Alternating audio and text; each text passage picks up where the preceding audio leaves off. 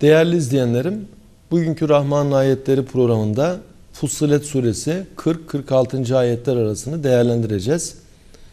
Cenab-ı Hak burada şöyle bildiriyor. İnnellezîne yulhidûne fî âyâtina Ayetlerimizde ilhat yapanlar la yahfavne aleyna bize gizli değildir.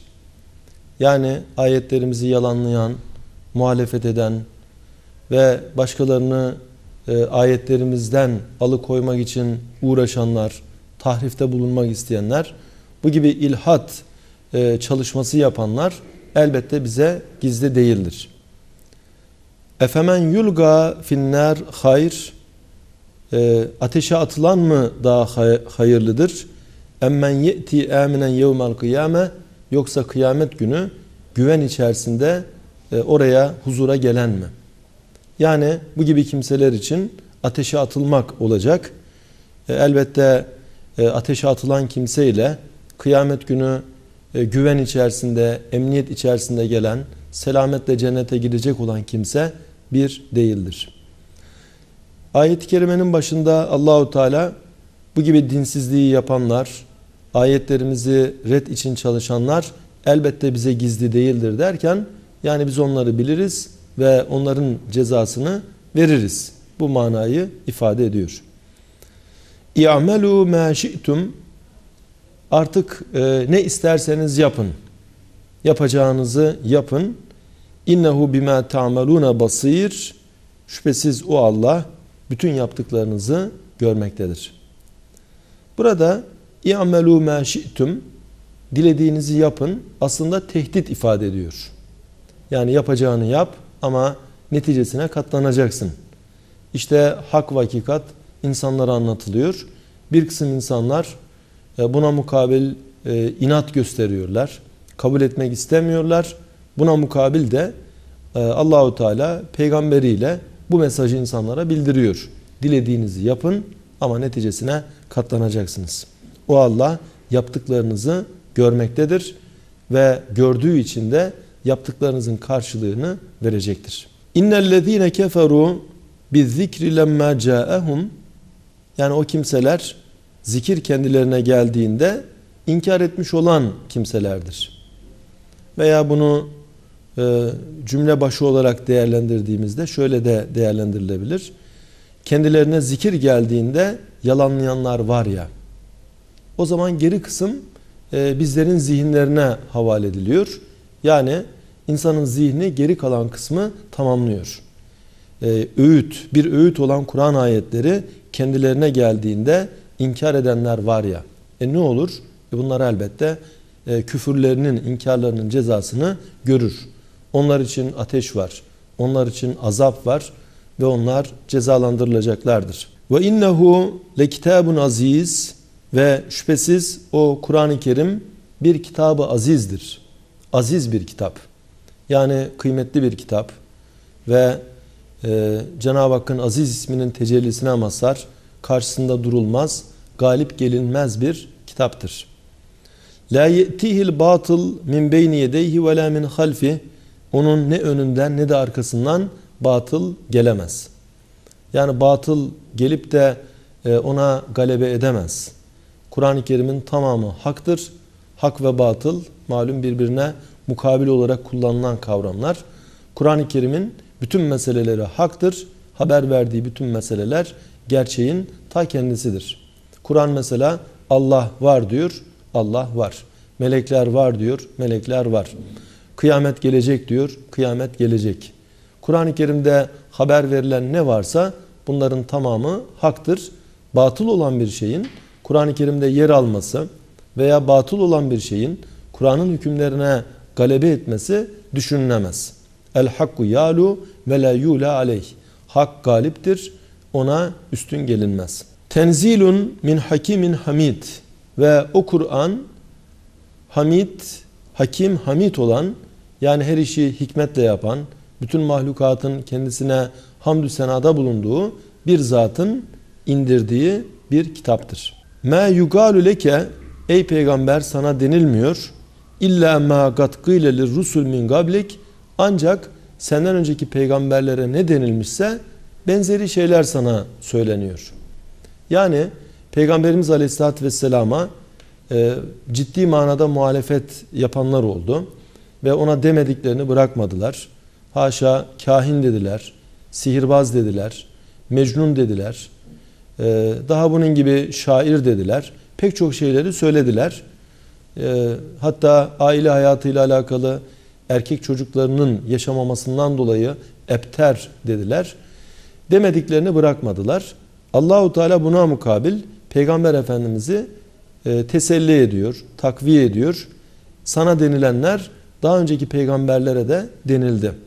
Yani ilk defa ezaya maruz kalan, e, ilk defa yalanlanan peygamber sen değilsin. Önceki peygamberlerin de başına benzeri şeyler geldi. Yani bu işin tabiatında bu var. Hak yolunda giden bir kimse bir takım iftiralara da maruz kalacaktır. Bir takım muhalefetle karşılaşacaktır. İnne inne rabbeke lezu mağfira ve zu ikabin elim. Ve şüphesiz senin Rabbin mağfiret sahibidir ve ilim bir e, cezanın da yine sahibidir. Yani onun hem mağfireti var, bağışlaması var hem de onun çok şiddetli bir cezası var. Bu kısım daha önce peygamberlere verilen bilgi işte sana da verildi. Rabbin böyle bir Rab'dir. Bu manada da değerlendirilebilir. Bu manada da değerlendirenler olmuş. وَلَوْ جَعَلْنَاهُ قُرْآنًا عَجَمِيًّا Şayet biz o Kur'an'ı Arapça dışında bir Kur'an yapmış olsaydık Lekalu o zaman derlerdi ki levla fussilet ayatuhu e, onun keşke ayetleri tafsil edilseydi. Yani Arapça olmayan bir Kur'an'dan biz nasıl anlayacağız? Keşke e, tafsili bir şekilde anlatılsaydı derler. E acemiyyün ve arabi. Yani e, Arap olanlara e, Arapça olmayan bir Kur'an mı? Böyle derlerdi. Kul huve lillezine amenu huden ve şife. De ki o iman edenlere bir hidayet ve şifadır.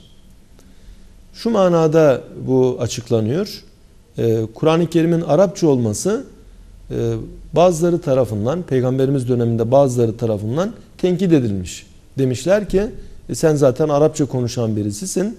Dolayısıyla e, bunlar senin sözlerinde olabilir. Keşke Kur'an-ı Kerim Arapça değil de başka bir dille gelseydi. E başka bir dille gelme durumunda bu defa başka tenkitler olurdu. E, Arapça konuşan bir topluluğa e, başka bir dille mi tebliğde bulunulacak ve e, o şekilde denilirdi ve bu, bu e, tenkit haklı bir tenkitte olurdu.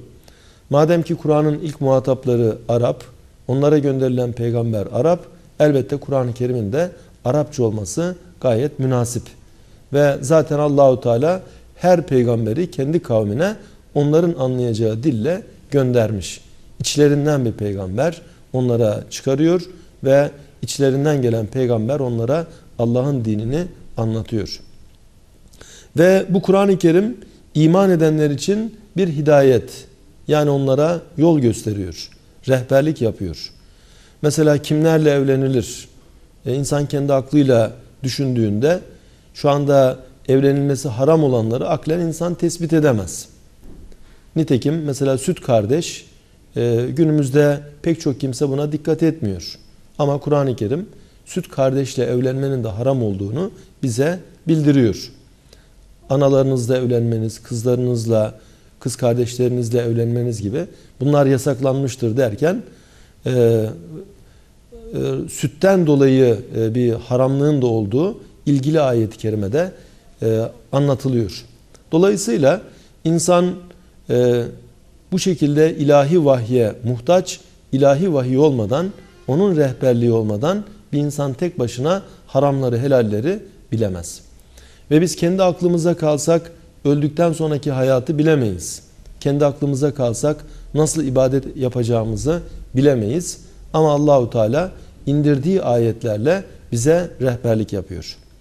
Ve aynı zamanda Kur'an-ı Kerim bir şifa, maddi manevi dertlerimize bir şifa. Aile hayatında problemler varsa o problemlere bir derman. Toplum hayatında problemler varsa ki var, bütün o dertlerin dermanı Kur'an-ı Kerim'de bulunmakta. Mesela insanlarda kıskançlık, insanlarda şüphecilik, insanlarda e, düşmanlık gibi bir takım duygular var. Bu duyguların dermanı Kur'an-ı Kerim ayetlerinde anlatılmış ve Kur'an-ı Kerim bize bir şifa olarak gönderilmiş. Dolayısıyla bir insan Kur'an-ı Kerim'i okuduğunda ayetlerin manalarına muhatap olup anladığında derdine dermanı orada bulacaktır. Dert hepimizindir. Hepimizin bir takım dertleri vardır. Bu dertlerimizin dermanı Kur'an-ı Kerim'de bulunmaktadır. Diyelim bir ülkede insanlar birbirlerine düşman hale mi gelmiş? Bu toplum Kur'an'ı iyi öğrensin, birbirine dost, birbirine kardeş haline gelir. Velev ırkları ayrı da olsa, velev dillerinde farklılık da olsa Kur'an e, bir bağ olarak onları birbirine bağlar, kuvvetli bir millet meydana getirir. Tarih boyunca Kur'an'a dayanmış olan toplumlarda bunun çok örnekleri görülmüştür ve çok kuvvetli medeniyetler meydana getirilmiştir. Öte yandan bir insan haset gibi duygularından kurtulamıyor mu? Başkalarını kıskanmak, çekememek gibi e, bir takım e, böyle sıkıntılarla karşı karşıya mı? Kur'an ayetlerini okusun, ilgili ayetleri okuduğunda derdine derman bulacaktır. Mesela Allahu Teala e, Cenab-ı Hakk'ın işte e, bazılarınıza ver, vermiş olduğu şeyleri doğrudan temenni etmeyin. Veselullah min fadlihi Allah'ın lütfundan isteyin. Yani onlara veren Allah size de verir. Hatta size durumunuza göre daha iyisini verir. Dolayısıyla e, hasede yer olmamalı. Kur'an-ı Kerim'i okuduğumuzda ilgili ayetler haset problemimizin dermanını bize e, gösteriyor. وَالَّذ۪ينَ لَا يُؤْمِنُونَ Ama iman etmeyenlere gelince fi azanihim vagrun onların e, kulaklarında bir ağırlık var. Ve hu aleyhim ame ve Kur'an onlara karşı bir körlüktür. Yani Kur'an'la alakalı bir şeyi göremiyorlar. Ama olan birisi kitaba nazar ettiğinde bir şey görmez. Onlar da Kur'an'a baktığında Kur'an'dan bir şey anlamıyorlar. Orada herhangi bir hakikat göremiyorlar. Bu manevi bir körlük. Üleike sanki onlar e, yunadevne min mekanin ba'id sanki onlar çok uzak bir yerden nida ediliyorlar. Yani nasıl ki uzakta olan birisi çağrıldığı zaman e, hemen duyamaz. E, ufaktan belki bir ses duyar ama ne denildiğini anlayamaz.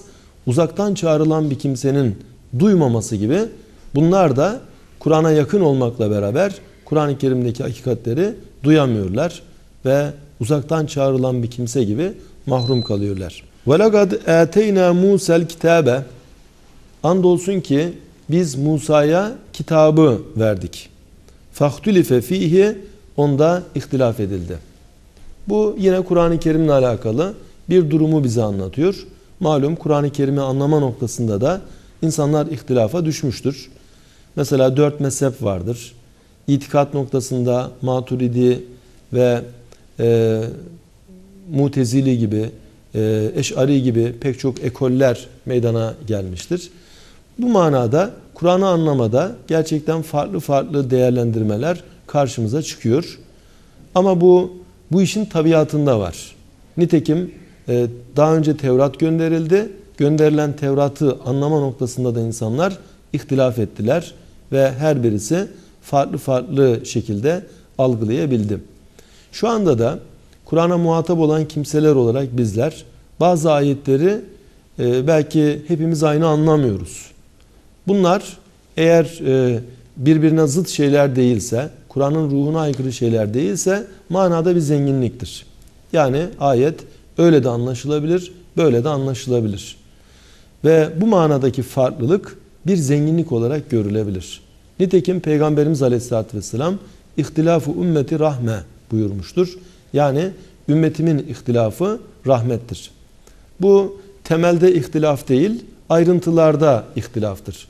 Yani diyelim dört mezhebin çıkmış olması e, bu o kadar dert edilecek bir şey değildir. Dini farklı şekillerde de e, yaşayabilme ve ayrıntılarda, teferruatta e, bir zenginlik, bir çeşitlilik tarzında bunu göstermektir. Diyelim ki abdestte Hanefi olan birisi e, hanımı veya yabancı bir kadına eli değdiğinde abdesti gidiyor. Hanefi olan birisinde gitmiyor, Şafi olan da gidiyor.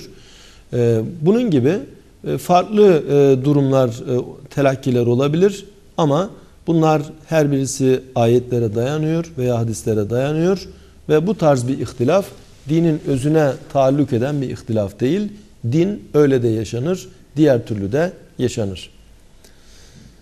Ama zararlı olan ihtilaf e, yanlış tevirler, zararlı tevirlerle, desteksiz tevirlerle Kur'an'ı asıl mecrasından saptırmaya çalışmaktır. وَلَوْلَا kelimetun sebagat min rabbike şayet Rabbinden sebkat eden bir kelime olmasaydı لَقُدِيَ beynehum onların aralarında hemen hüküm verilirdi. Ve innehum lefi şekkim minhum murib onlar gerçekten Kur'an hakkında aşırı bir şüphe içerisindeler. Yani onlar Kur'an hakkında bocalıyorlar. Onlar derken müşrikler, kafirler Kur'an-ı Kerim'deki ayetlere bakıyorlar, şüpheyle bakıyorlar. Gönülleri mutmain olmuyor ve devamlı bu gibi noktalar hatırlarına geliyor. Bundan dolayı da inkar cihetine gidebiliyorlar. Men amile salihan feli nefsi kim salih bir amel yapsa kendisi için yapmış olur. Ve men esa'e faleyhe kim de bir kötülük yapsa bu da kendi aleyhinedir. Ve ma rabbuke bizallamin lil abid senin Rabbin kullarına zulmedici değildir. Yani iyilik yapan kendine yapar, kötülük yapan da kendine yapar. Allah kimseye yapmadığı bir şeyin e, cezasını vermez. Kim ne yapmışsa onun karşılığını görecektir. Cenab-ı Hak istikametli bir hayatı yaşamayı hepimize nasibi müyesser eylesin. Bir başka programımızda beraber olmak ümidiyle hayırlı günler diliyorum.